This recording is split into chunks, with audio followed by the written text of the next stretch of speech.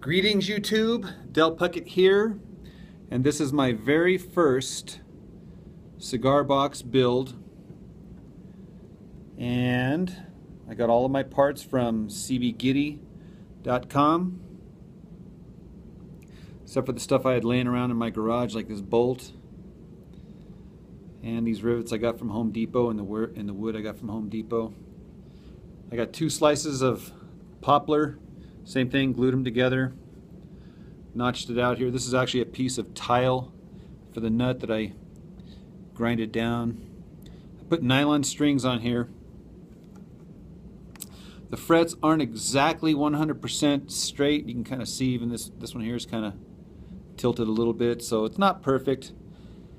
Um, definitely can be improved upon, that's for sure. I have a bunch of gaps around the edges there from being overzealous with the uh, sawing, not quite measuring exactly right. But um, doesn't sound quite right either. I'm not really sure exactly. I still need to experiment with the positioning of the piezo pickup. So I got a nice little hook so they can attach it to a nail on the wall. So let's plug it in, see how it sounds. All right, we're gonna plug this dude in.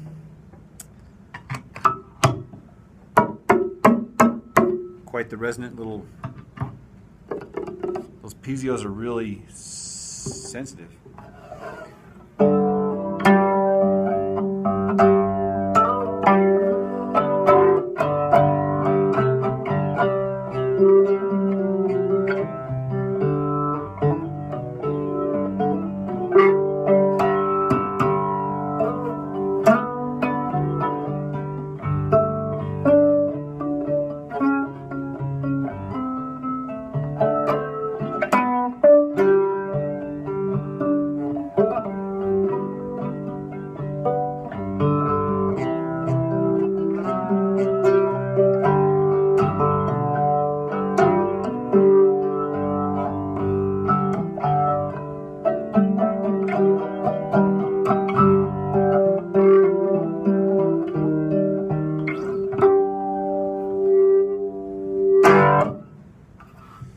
There you have it, the very first cigar box build and yeah, I think I can do better.